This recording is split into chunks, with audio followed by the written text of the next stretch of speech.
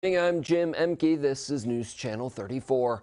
Broome County is putting all of the pieces in place to start a large scale vaccination effort.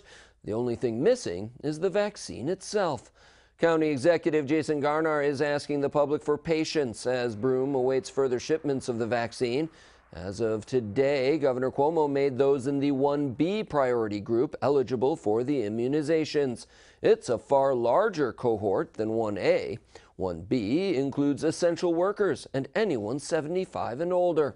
Cuomo also announced that the state will set up a mass vaccination site at a Binghamton University property in Johnson City next week.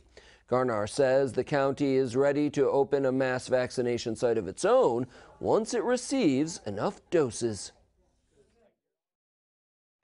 We are ready to vaccinate here in Broome County, meaning we have the infrastructure in place, we have the staffing in place, we're all ready to go, but we can only give out the vaccine that we actually have in our hands.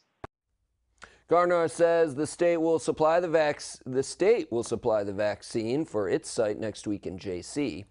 Meanwhile, the Broome County Health Department is only getting 200 more doses this week, same number as it received last week.